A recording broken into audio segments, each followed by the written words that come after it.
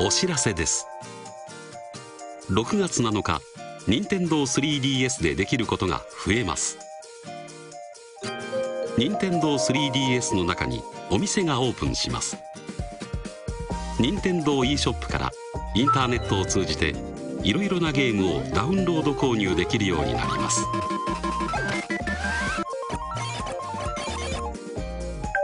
CM やソフトの紹介映像などを見ることもできます。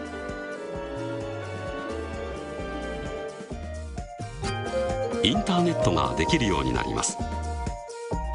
ホームメニュー右上のアイコンをタッチしてインターネットブラウザを起動します。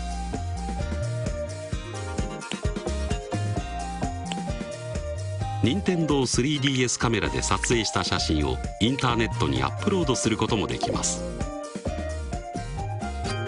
データの引っ越しができるようになります。お手持ちの任天堂 d s i から 3DS へ。